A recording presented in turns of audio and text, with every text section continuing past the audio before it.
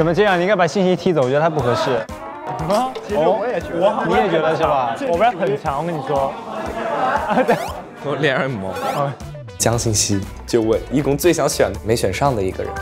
第一次一组啊，啊，第一次一组啊，队长，你当然是江西了。对啊，那肯定是你队长啊。哎呦我，我怎么在中间啊？